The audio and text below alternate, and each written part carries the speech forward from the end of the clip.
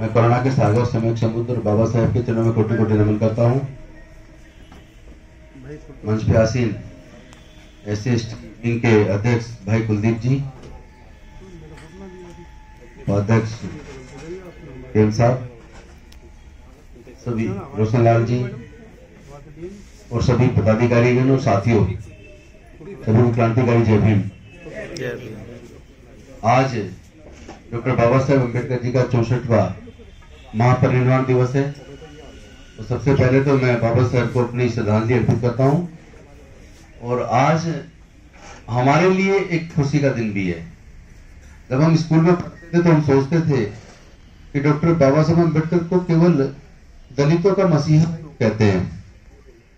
केवल संविधान निर्माता क्यों कहते हैं? जबकि वो दुनिया के सर्वश्रेष्ठ अर्थशास्त्रियों में से एक थे। कॉन्स्टिट्यूशनल और उन्होंने बहुत सारे क्षेत्रों में काम किया।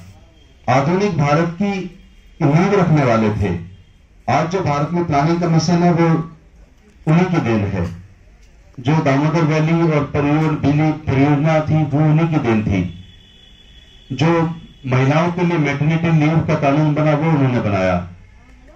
जो न्यूनतम मजदूरी मजदूरों को मिले और काम के घंटे निर्धारित हों, वो उन्होंने किए।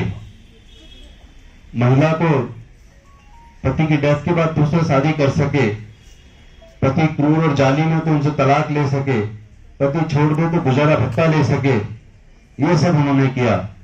भारत में लैंड रिफॉर्म करके किसानों को उनका हक मिले। ये उन्होंने किया। तो इतने बहुआयामी प्रतिभा के धनी डॉक्टर बाबा साहब अंबेडकर थे, लेकिन उनके कद को छोटा करके दिखाया गया। कभी स्कूलों में कोई चैप्टर भी नहीं था।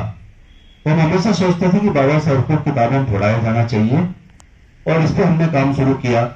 हमारी सरकार आने के बाद, और मैं आपके साथ गर्व के साथ आज शेयर कर रहा हूँ कि आज से दिल्ली के सरकारी स्कूलों में छठी, सातवीं, आठवीं के अंदर डॉक्टर बाबा साहब अंबेडकर को पढ़ाने के चैप्टर्स लगा के आज उसका उद्घाटन दिल्ली, हमारी पार्टी के संयोजक और दिल्ली के मुख्यमंत्री माननीय अरविंद केजरीवाल जी ने और हमारे उप मुख्यमंत्री मनीष सिसोदिया जी ने आज उसका उद्घाटन किया और वो पुस्तक अब हमारे स्कूलों में पढ़ाई जाएगी।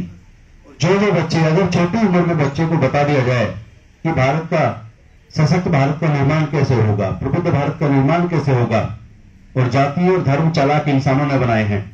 सभी लोग ओरिजिनली सभी इंसान है। तो मैं समझता हूँ फिर कोई मोर मोर लिंचिंग नहीं होगी। फिर जाति और धर्म के आधार पर किसी को मारा नहीं जाएगा। एक तरफ़ केंद्र की सरकार, आप जानते हो, नागरिक जो संशोधन बिल लेके आ रही है, वो कह रही है कि जितने भी अलग अलग देशों से भारत में आए हुए लोग हैं, जैन, बौद्ध, हिंदू, सिख, ईसाई, उन सबको हम भारत की नागरिकता दे देंगे। वोट अबाउट मुस्लिम्स मुस्लिम इंसान नहीं है क्या? तो ये गंदी सोच है। मुझे लगता है लोगों को इस सोच से ऊपर उठ के इंसानियत को तवज्जो देनी चाहिए और इंसानियत के सबसे बड़े प्रथाओं में से डॉक्टर बाबा साहब अंबेडकर थे। उनका जो कैरेक्टर है, बहुत बड़ा था। उनका जो रिसर्च पेपर था the problem of European India and it solution उसी के बेस पे 1934 में भारत का रिज़र्व बैंक बना। तो हम जो चाहते थे कि आज जो भारत का समता स्वतंत्रता बंधुत्व, एक ऐसा सिद्धांत है जो भारत को मज़बूत कर सकता है, और वो सिद्धांत डॉक्टर बाबा साहब अंबेडकर का दिया है। तो आज के दिन मैं पुनः डॉक्टर बाबा साहब अंबेडकर जी को श्रद्धांजलि अर्पित करता हूँ।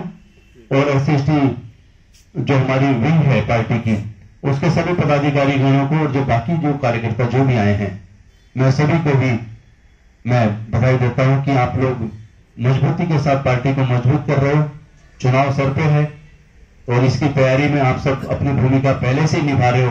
बहुत सारे साथी तो हमें जगह जगह जाके स्पीकर के तौर पे अलग अलग जगह पे जाके पार्टी को मज़बूत करने का काम कर रहे हैं और आप सबको बहुत बधाई।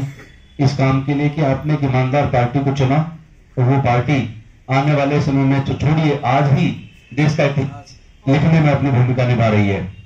आज दिल्ली को छोड़ दें तो देश का कोई दूसरा राज्य नहीं है जहाँ जय भीम मुख्यमंत्री प्रतिभा विकास योजना जैसी कोई योजना हो। देश में कोई दूसरा राज्य नहीं है जहाँ doctor Ambedkar fellowship financial assistance scheme for higher education in abroad ऐसी कोई योजना हो।